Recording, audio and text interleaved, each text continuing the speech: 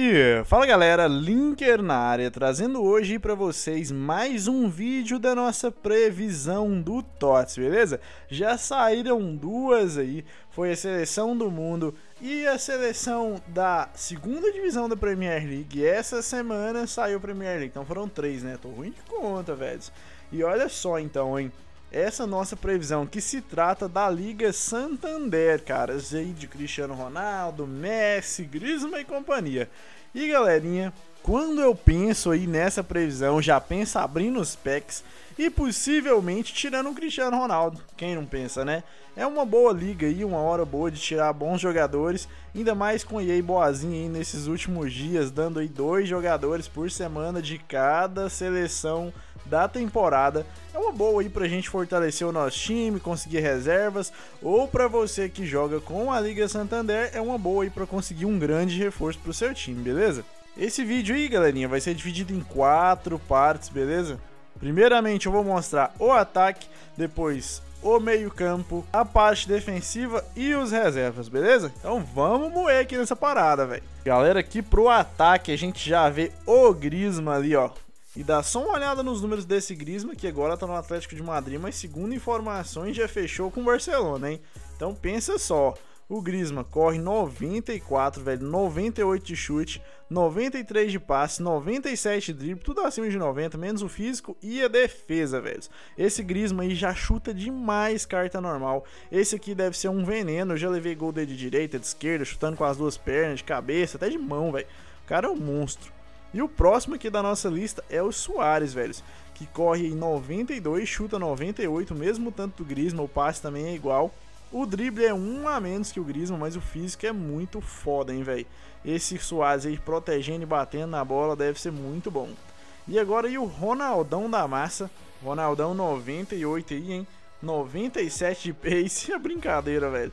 98 de chute, 92 de passe, 97 de drible, 92 de física. Eu não tenho nem o que falar, né? E ainda 5 de drible e 5 de perna. Não preciso falar mais alguma coisa? Acredito que não, hein?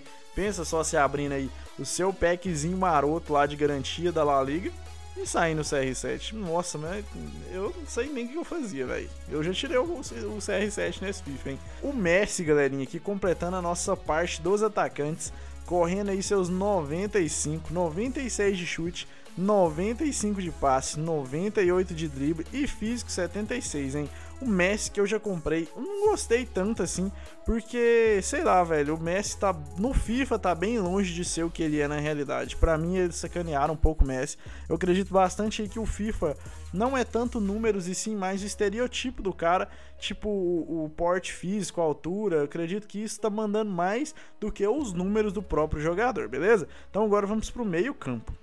Galera, aqui no meio campo temos aí um meio campo com dois volantes compostos aí por Busquets e o Tony Cross. O Busquets para mim que o único defeito dele é correr tão pouco, velho, só 57, mas nos outros quesitos ele é excepcional. O chute é um bom chute para um volante, o passe é, nossa, maravilhoso o passe dele porque um volante passar esse tanto é muito bom. A galera aí que acompanha meu canal sabe que eu sofro demais com os volantes lá do Premier League, que, nossa, velho, erro passe demais e por isso eu levo muito gol mesmo.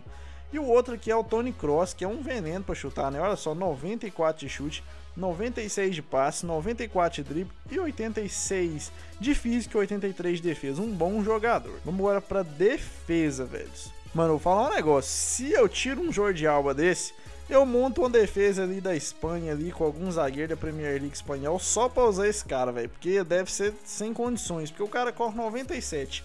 Quem vai colocar a bola na frente de Jordi Alba? Eu quero ver. Sério mesmo, né? Porque só se for o Gabriel Jesus, que o Gabriel Jesus vocês sabem, né? E, e o chute dele é muito bom, o passe também é muito bom. O resto ali na parte defensiva, de drible, físico, cara, é, é maravilhoso, velho. Não tem nem o que discutir, né? E de zagueirão aí tem o Piquet e um Titi, hein? E o Sérgio Roberto ali de lateral direito e o goleirão Ter Stegen.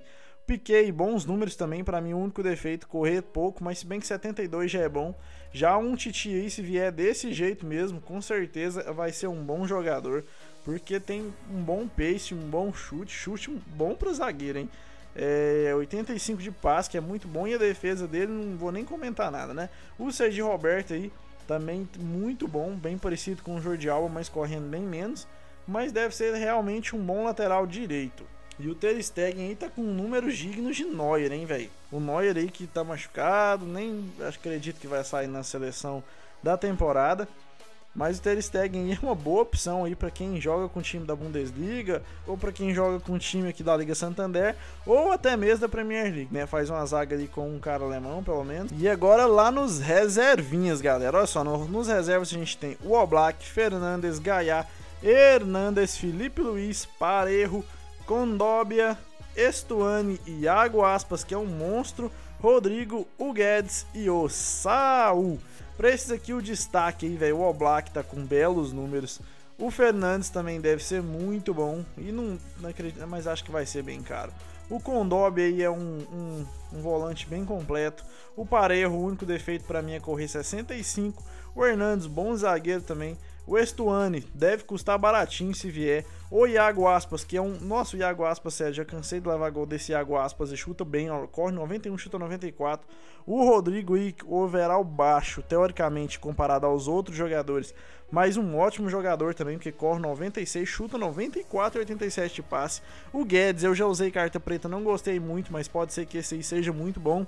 E tem o Saul aí também de MC muito bom ali para armar a jogada. Galera, então a nossa previsão da La Liga foi isso. Se você gostou, deixa aquele like monstrão, compartilha o vídeo com algum amigo seu se você puder, para ele ficar por dentro da seleção do ano da Liga Santander, beleza? Você vai estar tá ajudando aí na divulgação do canal e eu fico muito feliz com isso. Se você está aqui pela primeira vez e gostou do conteúdo, se inscreve e ativa o sininho aqui embaixo para ficar por dentro de tudo que rola no canal. Me segue lá nas redes sociais, estão aí na descrição, beleza? Porque às vezes o YouTube não notifica e eu tô sempre postando lá no Twitter quando saem novos vídeos aqui no canal, beleza? Nós temos vídeos aí de segunda a segunda, negócio que não para normalmente às 18 horas, beleza? Então se você acha que vai vir alguém que eu não citei aqui nesse vídeo, deixa aí nos comentários, deixa aí nos comentários quem você já quer tirar lá nos packs de garantia da Liga Santander. Eu fico por aqui, um abraço a todos e eu fui!